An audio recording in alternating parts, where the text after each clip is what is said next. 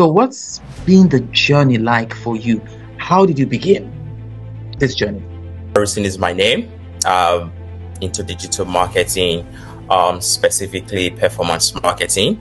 Um, so my journey um, began in 2017. Um, actually, my digital marketing journey has been both, you know, exciting and transformative. Both. Uh, I didn't start digital marketing from the one in my professional career. I started as a corporate sales executive.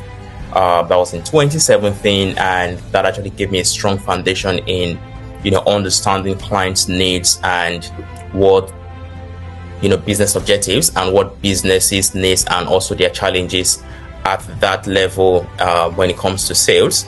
Uh, but the pivotal moment, you know, came when I um, had the opportunity to work with Meta, which you know John as a marketing expert.